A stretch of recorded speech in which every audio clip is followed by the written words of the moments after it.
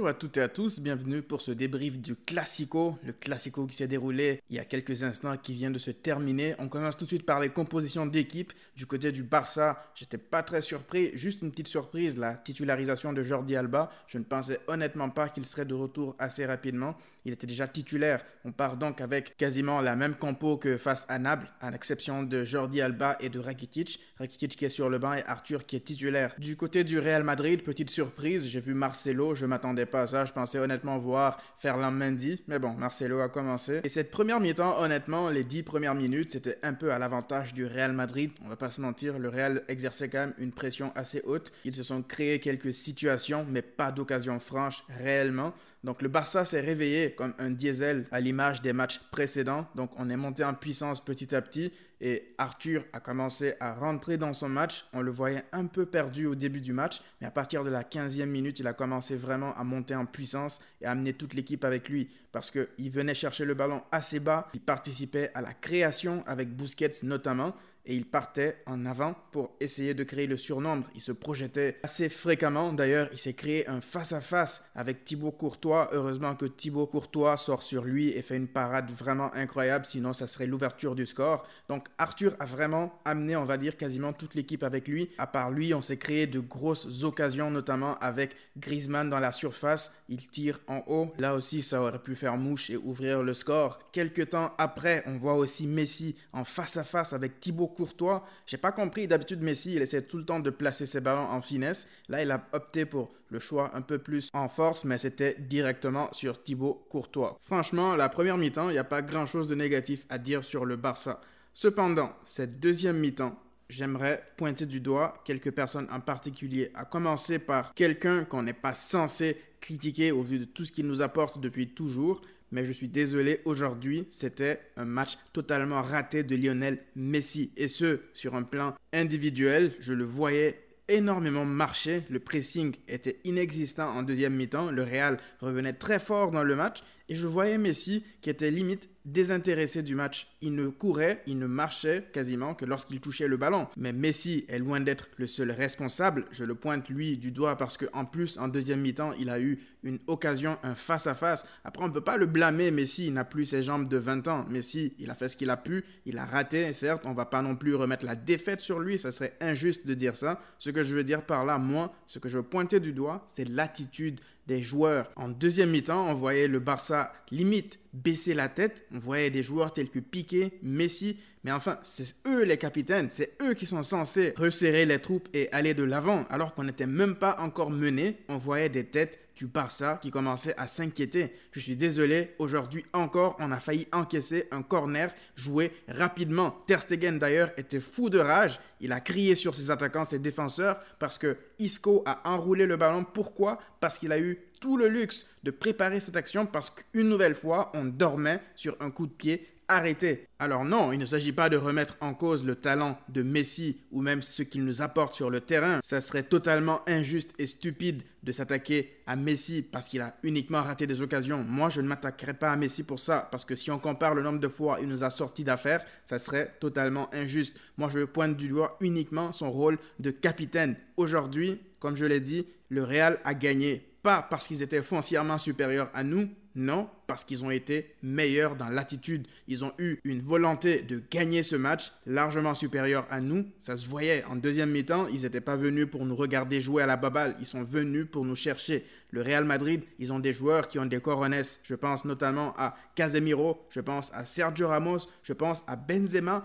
Alors que nous, quand on regarde de notre côté, on voit Messi qui baisse la tête, Piqué qui a l'air triste même dans le couloir avant d'entrer dans le terrain. Donc c'est vraiment des signes qui ne trompent pas. On ne peut pas aspirer à battre une équipe avec autant d'intensité, avec autant de cœur que le Real Madrid, juste en jouant au football avec de la baballe, avec des passes à 10, avec une possession stérile. Ça ne marchera pas. Surtout que lorsque tu as tes occasions, tu ne les mets pas au fond, le Real finira forcément par gagner. Donc le Real a eu une victoire, je ne dirais pas volé, c'est une victoire méritée parce qu'ils ont su concrétiser leur temps fort, contrairement à nous. Et j'aimerais aussi pointer du doigt Frankie de Jong. Aujourd'hui, moi je peux comprendre le fait que de Jong joue un peu plus haut, il est perdu dans ses repères, mais au moins il est censé apporter beaucoup plus que ce qu'il nous propose durant ce match. De Jong a été quasiment limite stérile. Il faisait que des passes latérales, aucune prise de risque dans son jeu. Alors, moi, je veux bien comprendre qu'il est totalement désemparé du fait qu'il ne joue plus en tant que milieu défensif, comme à l'époque de l'Ajax, mais au moins, il est censé prendre des risques. Il joue plus haut où le danger de perte de balle est plus élevé, mais il est censé apporter plus que ce qu'il nous a proposé aujourd'hui. Arthur a fait un meilleur match que lui, même si la deuxième mi-temps de Arthur aussi était moyenne avant qu'il ne sorte, mais au moins Arthur propose des choses. Arthur ose. Arthur, même s'il peut perdre le ballon, il essaye des choses. Lorsque nous sommes un milieu de terrain du FC Barcelone, on est censé avoir cet amour du risque. On est censé prendre constamment des risques et De Jong ne l'a pas fait aujourd'hui. Autant jouer avec Rakitic. Tiens donc, je parle de Rakitic. Je ne vais même pas m'attarder à parler de lui. Je vais plutôt parler de Kike Sétienne. Moi, je ne comprends pas. Tu es mené 1-0. Tu as du mal à te créer des occasions. Et qui est-ce que tu fais rentrer? Ivan Rakitic. Moi, je commence vraiment à perdre toute patience. Là, on dit que oui, on va laisser du temps à Kike Sétienne. Je l'ai dit moi-même à maintes reprises. On ne va pas commencer à cracher sur Kike Sétienne alors qu'on a laissé minimum une année à Valverde. Mais Kike Sétienne, sur le coup, non seulement il s'est totalement trompé concernant Rakitic. Et c'est pas la première fois, il s'était encore trompé lors du match face à Naples. Et là encore, il fait rentrer Ivan Rakitic alors qu'on a besoin de créer du jeu, alors qu'on a besoin de créer des situations pour renverser un match.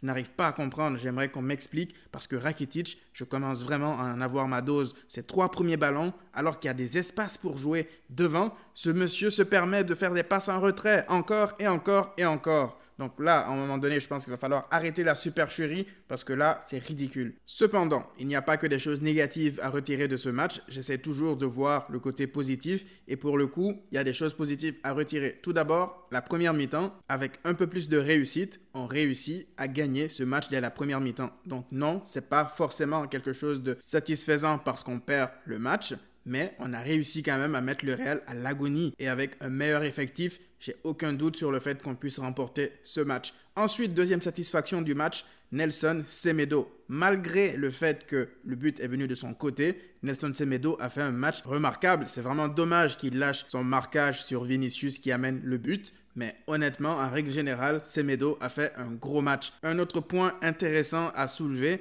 Ter Stegen.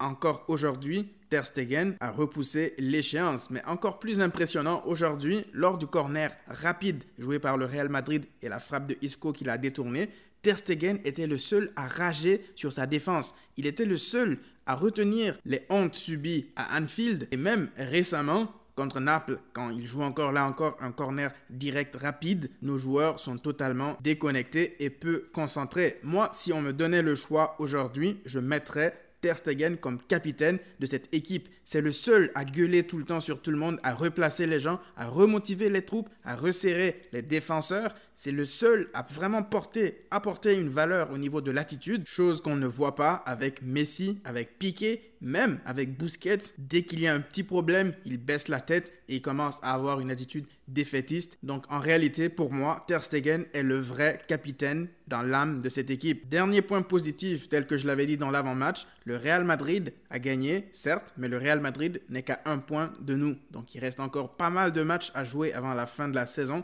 Donc il n'est pas exclu que le Real lâche des points, tout comme le Barça peut laisser des points, mais là, ça va se jouer au mental d'ici la fin de la saison. Là, on a relancé le Real Madrid, c'est le seul point, gros point négatif, je vais dire. On les a relancés dans la course à la Liga. Et s'ils sont motivés, s'ils sont concentrés jusqu'à la fin de la saison, ils vont faire le taf. En sortant d'un match pareil, surtout que c'est une réaction à chaud, il est difficile de pointer du doigt une personne en particulier. Donc moi, si je devais pointer du doigt aujourd'hui des personnes, je dirais que les responsables de cette défaite sont d'abord et avant tout les joueurs mais aussi Kiki et Sétienne. Ils ont tous leur part de responsabilité dans une telle défaite parce qu'au niveau, comme je l'ai dit, de l'attitude et au niveau des changements et des hommes choisis, d'ailleurs, j'ai pas beaucoup parlé du choix de Umtiti par rapport à l'anglais. Moi, à la base, je ne voyais pas de problème réel à choisir Umtiti à l'anglais, mais force est de constater sur la dernière action que Mariano se procure pour aller marquer que Umtiti est totalement aux fraises. On a besoin d'un joueur capable de mettre de l'impact et qui a un minimum une vitesse décente pour pouvoir rattraper des attaquants.